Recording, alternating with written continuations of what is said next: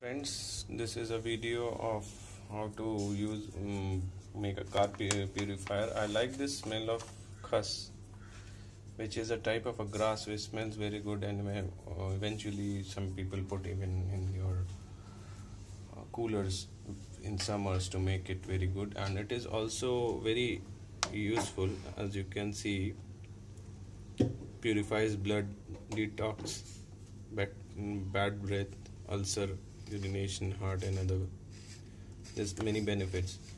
So what I had done is that I had a old aero car um, uh, perfume.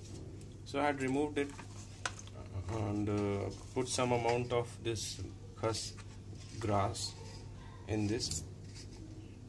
And then all I need to do is sprinkle little bit of water and put it in the car as you use it regularly so this will make your car smell very good. So thank you friend and for this watching this idea. And I'll keep posting more of these small small ideas.